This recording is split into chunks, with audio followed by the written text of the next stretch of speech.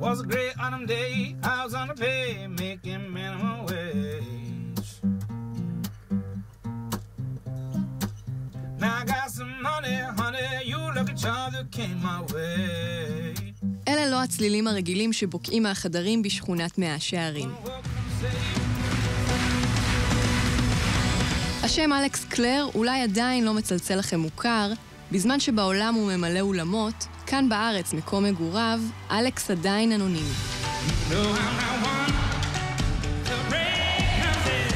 I've been here for three years now, learning yeshiva, studying yeshiva. We have the studio here, so we make music every day in, uh, in Yerushalayim in the afternoons and in the mornings, still learning yeshiva. בין הלימודים בישיבה לבין ההקלטות באולפן הוא מופיע כמעט בכל רחבי הגלובוס. Everywhere from Johannesburg to Los Angeles to uh, Paris, all over Europe, um, Russia, um, yeah, all over the world. I didn't see Israel in the list. I've never played a concert in Israel. How come? It's really weird, I don't know. מעבר להופעות מעבר לים, קלר היה מועמד לכמה וכמה פרסים, ואף הוזכר במדורי הרכילויות לא מעט. The winner of the best British female this year, Amy Winehouse! אמנם קצת קשה לזהות, אבל מי שעומד כאן לצידה של איימי ויינהאוס הוא אלכס קלר. בשנת 2006 הם היו בני זוג לכמה חודשים. כיום זה נושא שהוא מסרב לדבר עליו. בסביבתו הקרובה אומרים שזה בשל הקושי לנוכח הטרגדיה שקרתה לה. I saw what celebrity does to people. I've known really famous people. And I've seen how horrific their life is because of it. It's like a prison. Yeah? Okay? הדרך לאולפן הקטנטן במאה שערים יכולה להוות תסריט לסרט. אלכס נולד למשפחה יהודית חילונית, התגורר בלונדון והתערבב עם כל הגדולים. And between the age of 17 and uh, 21, it was pretty wild. Like, really wild. Yeah, everything wrong you could probably do, I did it and had a great time. Um, it was awesome. But then one day I woke up and I was like, this feels terrible. and for me, there had to be more to life. So I decided that uh, I had to go to the, you know, the Rambam says that uh, if you have a problem in a certain area, you have to go to the opposite extreme, fix the problem by going to the opposite extreme, and then work your way back.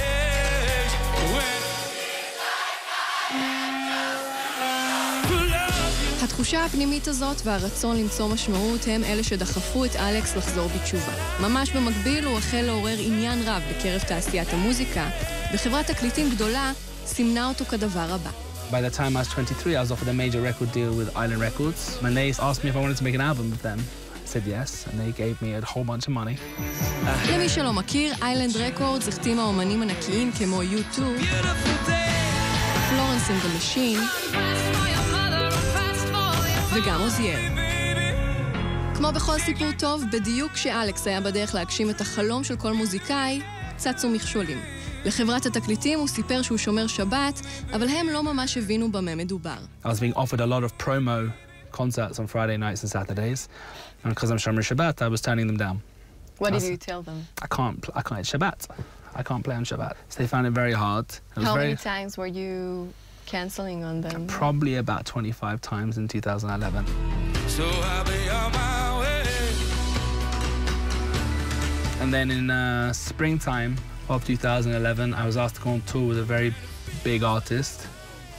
Um, she's like a very, very large Grammy award winning, you know, artist. And it was Pesach.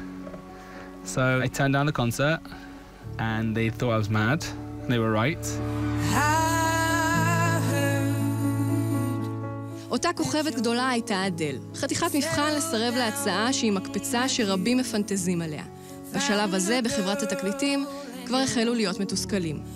So I told my record label I couldn't do the show, and they said, We thought you'd say that, but if we have to let you know if you don't do the, the concert, we're going to have to let you go.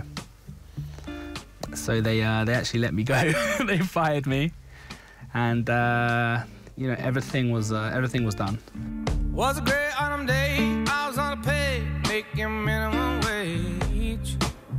I went to my rabbi, and they said to him, um, like, Rebbe, this is bad. I've lost everything. I've lost my career. I've lost my record label. No radio station's going to want to play my music. And he said, if you're Mr. Nefesh, then um, you'll see Siyata de Shemaya. And I was like, whatever. Did Like, you yeah. believe in that? You know, it's very hard to believe it when you've just lost everything.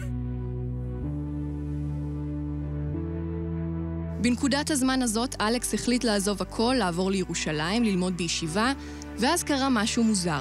ההשגחה הפרטית, כפי שאלכס מכנה זאת, או המזל הטוב, התגייסו לצידו. הענקית מייקרוסופט חיפשה שיר לאחת הפרסומות שלה, לאוזניהם של מנהלי הקמפיין התגלגל שיר של אלכס, הם התאהבו ובחרו בו לפרסומת שלהם.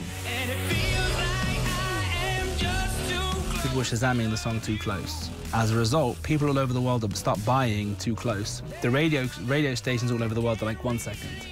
How come there's a song going into the charts that we've never played on the radio? So then the radio stations start playing Too Close. So it has massive exposure all over the world. And all this is going crazy. um, And you're here, I'm in here. Jerusalem. I'm in, I'm in Jerusalem studying. Studying in the yeshiva. I'm studying yeshiva. And uh, all the while, I'm like uh, selling millions of records. It's crazy. Lately I've been living on gin and adrenaline. Trying to play a game I can never win. In a part of town where they never How you doing, Tariq? How are we? We've got a camera in my face, it's really awkward. לישראל הוא קורא בית זה שלוש שנים. בינתיים הוא הספיק להתחתן בגוש עציון, ועם אשתו יחד הוא מגדל שלושה ילדים בשכונת נחלאות בבירה. How Israeli do you feel? I feel Jewish. Feel Jewish. Not Israeli yet. No, I live in Israel, you know, it's, uh, you know, it's my home. But, uh, you know, there's a cultural identity and a spiritual identity. But, uh, yeah, it takes a little bit of getting used to. The chutzpah? Chutzpah's okay, you know, the chutzpah, it's, at least it's honest. Thank you. ולמרות ההצלחה הבינלאומית, כאן בארץ הוא פחות מזוהה. הוא זמר בינלאומי. What's your name? Alex. I don't know you. I don't know me either, I'm still trying to figure that out. את הסגנון שלו קשה להגדיר, זה שילוב ומקבץ של כמה יחד. הוא גם לא ממש מעוניין להיכנס להגדרות או להשוואות, אז לא, אין כל קשר בינו לבין מתיסיהו או לכל אומן חרדי אחר. I don't question the gender. In many ways, when you have religious Jewish singers, it kind of cheapens what cheapens what they're doing in a way because they take these pasukim, which are from such a holy place, and just stick them into some like pop song. It also doesn't feel right. At least I'd write, like to write from the heart and express the feeling that I'm actually feeling, as opposed to uh, something that somebody else has told me to feel. So you won't find psukim from the Bible in your You'll song. find uh, ramazim to pasukim in the Torah. Fell apart, it all fell apart except for this piece you left in my heart. Now I hang on to it every day. How's your Hebrew? אני מבין מאה אחוז, אבל לדבר זה קשה לי. We're just chasing sparks. Are you going to sing in Hebrew? I think it'd be really weird for people if they go from like this, you know, blues singer, soul singer, to suddenly singing, sounding like he's uh, like a Polish chassid.